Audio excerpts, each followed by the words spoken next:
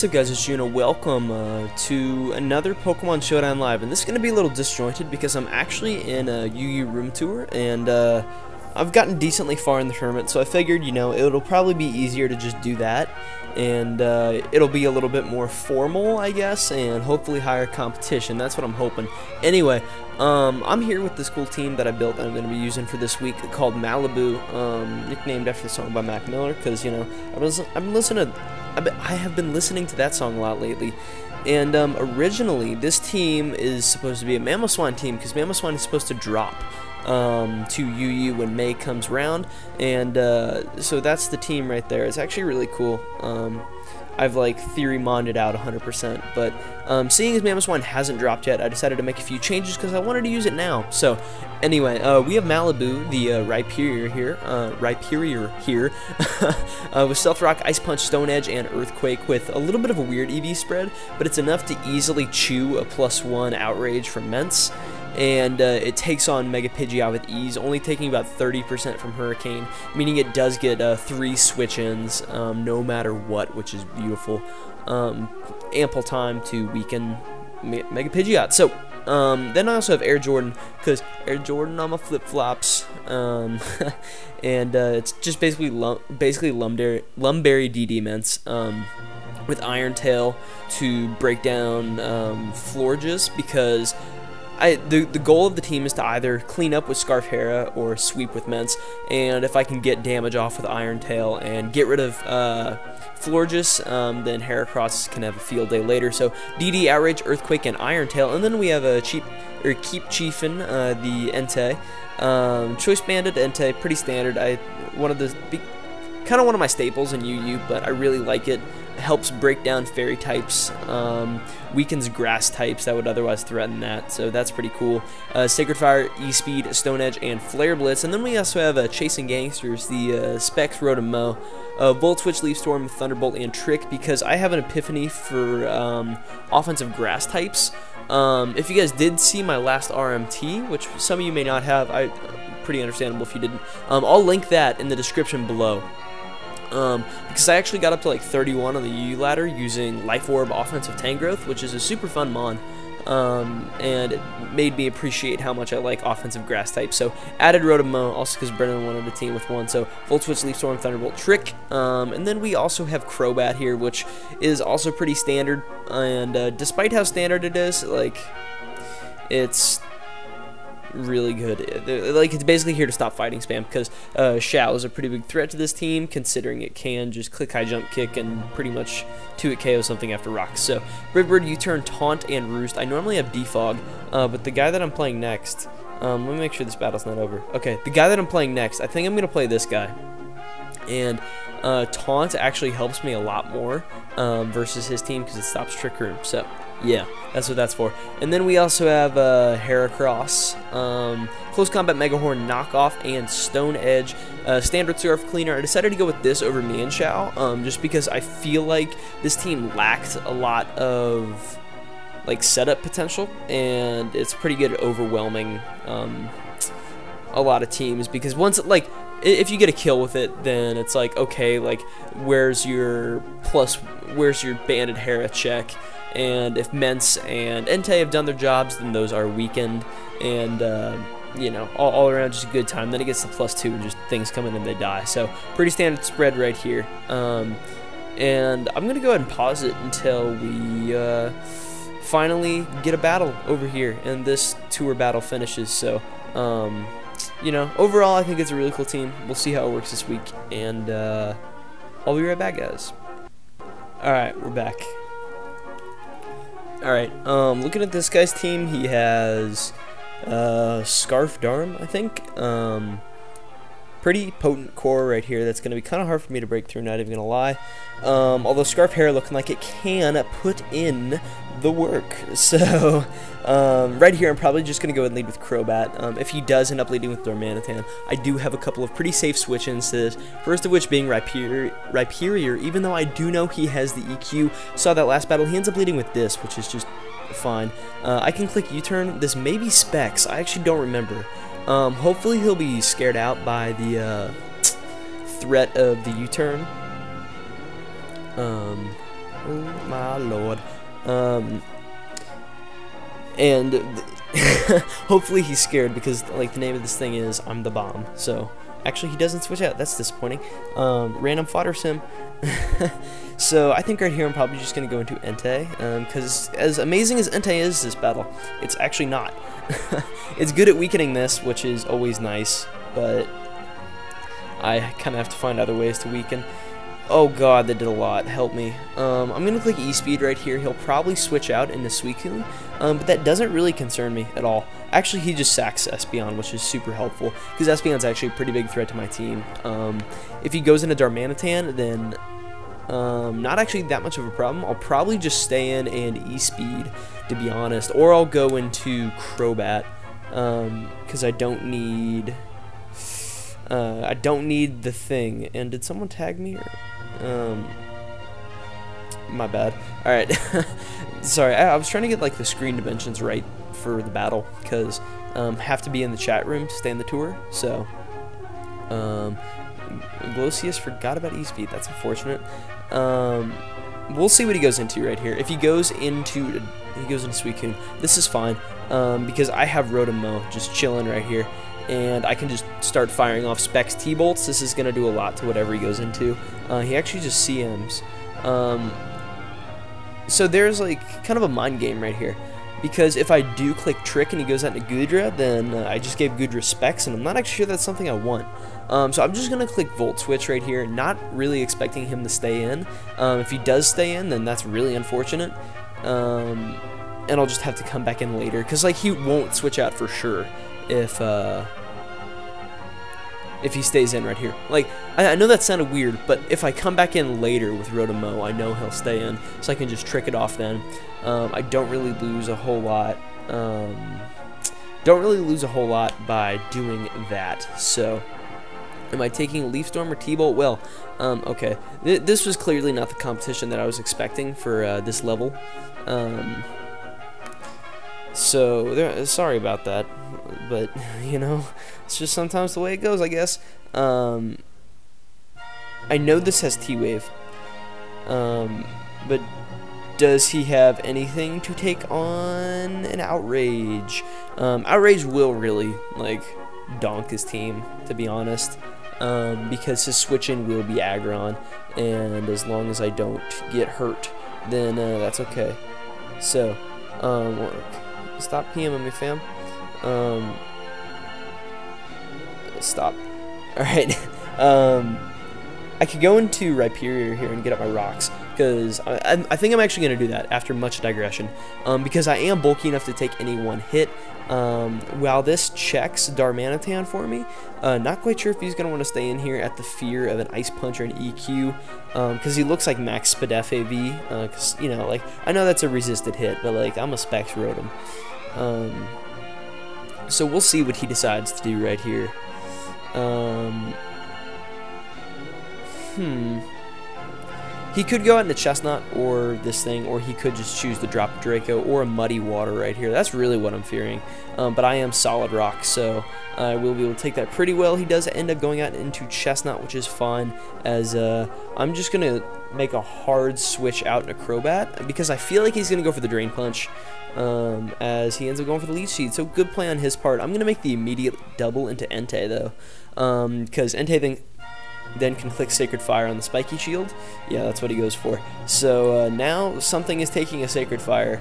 Um, I could try to keep up momentum and go out into Suicune, or go out into uh, Rotom-Mow, which is my Suicune check, which actually wouldn't be a bad play, to be completely honest. Um, keeps up a lot of momentum. If he tries to stay in a Leech Seed or whatever, that doesn't really help him. So I'm going to go and do that. We'll see what he does. Um, if he makes the play of going out to Goodra, that's a little bit unfortunate, um, but maybe not insanely so. He does end up going for a Spiky Shield right here. I could dump off my choice item right here if I really wanted to, but I don't want to do that yet, I don't think. So I'm just going to go ahead and click Volt Switch. It's not really an issue. Um, it's not going to do a lot. Like, that did a quarter. You're not quite as strong as I had originally hoped you would be. Um, but I'm going to go out into Crobat right here. And the reason I'm going to go out into Crobat is because I can uh, threaten his team pretty well. Um, he ends up going for the Poison Jab, so I'm eating that up.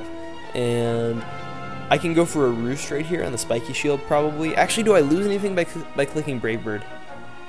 Um, I suppose you never know when you need the extra, like, 12 HP during the battle. Um, so, I'm probably going to go ahead and click Brave Bird right here. As tempting as it is to just double, um, I'm just going to click Brave Bird. So, um, if he Spiky Shields, which, like, he has no reason not to Spiky Shield. Good play. Um, not really that big of an issue because now he knows I'm going to Brave Bird and I can just go ahead and click U-turn. Um, I know he'll go for the Leech Seed if he does stay in, so uh, that's good for me. I end up, end up picking up some free momentum, the freest momentum of my life, so I can go into my Entei right here and click Sacred Fire because even if I, like, e even if I don't burn him, it's like it was still where it missed. Sick. Uh... That's that's actually horrible. Um, I'm gonna go into Rotom-Mow. So then I can just fire off a Specs Volt Switch. He'll go for like the Heavy Slam probably, or he may just try to get his Rocks up. Um, but I'll try to get a free pivot into my, uh, what do I even have for this? Guess I kind of have that. So I'll just go into that. Um, I'll just click T-Bolt right here, I think. Um, Specs T-Bolt should 2 KO, right? Right? We're gonna... Actually, no, I'm super light. He's just gonna destroy me with a Heavy Slam. Um... Okay, that did a lot. Oh my god. uh, I'm gonna go to Rhyperior right here, uh, even though it sucks because it's not gonna be that healthy. Um, as it takes an avalanche. Yum. Eating it up. And Oh, I'm sorry I said that. I can go over the EQ right here and uh, just straight knock him out. Um, uh, yeah, th this was not as good as I was expecting um, as far as content goes. So, may just scrap it and have the last battle versus um, the Cacturn one. Um, oh, actually, no, that, that kind of makes sense. Avalanche does make sense um, because then it, it's not setup fodder for Mence, which otherwise is kind of a problem for his team because once he gets the plus one, it's like things just start dying. So, um, you know, it's fine. He, he's not like horribly incompetent. So, anyway, he ends up going out in a Chesnaught right here, which is perfectly fine um, as I am probably going to go out into Rotom-Mow to take this thing on, um, because Rotom-Mow can take a Leech Seed, or he's going to go for the Drain Punch. So I'm going to go to Crobat either way, because um, I don't really feel like I lose anything by it, um, as he goes for the Poison Jab, which I'm to eat that up, and I'm going, or I'm not, I'm not to take a whole lot from that. I'm just to go ahead and click the Roost right here, uh, get back some HP um, before like, I, am I'm, I'm going to try to roost on his spiky shield, because I feel like that's to be his play right here, or he's just to straight switch out, but go ahead and get pro play real quick. Um, so I can Brave Bird right here. It's not actually an issue at all. and because if he stays in, then Chesnaught is down, and that's very, very good for me. If not, I can just U-turn the following turn, uh, pick up some like pseudo momentum, and uh, he does end up going back out into Mega Aggron, as that will not be able to kill, unfortunately. So I'm just going to go ahead and go for the U-turn right here. He'll probably go for the Avalanche, or he's going to go for the T-Wave. Either way, I feel like Rhyperior is my safest switch, um, because I need Rhyperior the least in this battle. Um, but now it's looking like if Mence gets the plus one, this is an easy win. Um, Right here, I'm going to go for the Ice Punch. Um, actually, no, Ice Punch is a pretty horrible play, so I'm going to go for the EQ, um, because even if he switches back out into the thing, Chesnaught, um, I do have switch-ins to that, and it's not really that much of an issue, so um, he ends up going for the Heavy Slam, and look, Is pretty fat, so he's to be able to take that. Look, look at look, look at that. Look, look, at his tail. Like, how, how much do you think that weighs right there? Um, yeah, that he's been kind of getting worked this battle, not even gonna lie. Um, if I hadn't missed that Sacred Fire, then uh, would have been just complete and utter destruction. uh, Cactroon um, is the person I play next, so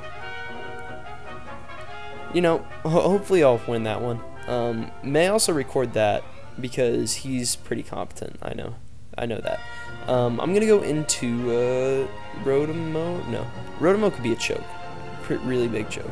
Actually, what's a Suicune on? It's a full. Um, I'm to go into I'm the Bomb uh, right here, the Crobat, uh, because I can take this thing on, even if he does Leech Seed, which he does. He misses, unfortunately for him.